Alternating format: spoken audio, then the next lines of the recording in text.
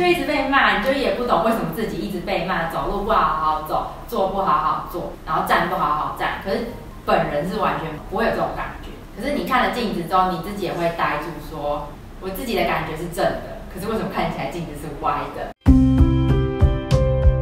大家好，我是曾主任。谈到侧弯人，常常觉得舒服的姿势却是歪的。青少年原发性脊柱侧弯目前的病因仍然是不明。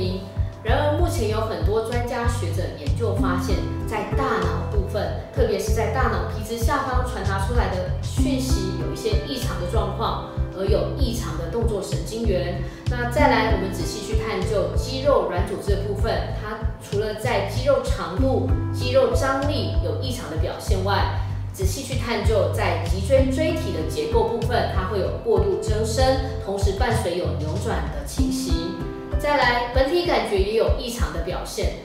青少年原发性脊柱侧弯，伴随在成长的过程当中持续的恶化，而产生有侧弯人特有的一个模式以及临床表征。而这样子伴随生长的过程当中持续恶化部分，感觉输入回传异常，让患者觉得正，但却是歪的。挺立康治疗侧弯的目的在于让大脑重新整合这些动作模式，让脊柱排列在相对良好的位置上，以减缓脊柱侧弯恶化的发生，在日后生活品质当中降低脊柱侧弯造成的影响。而这样的正常感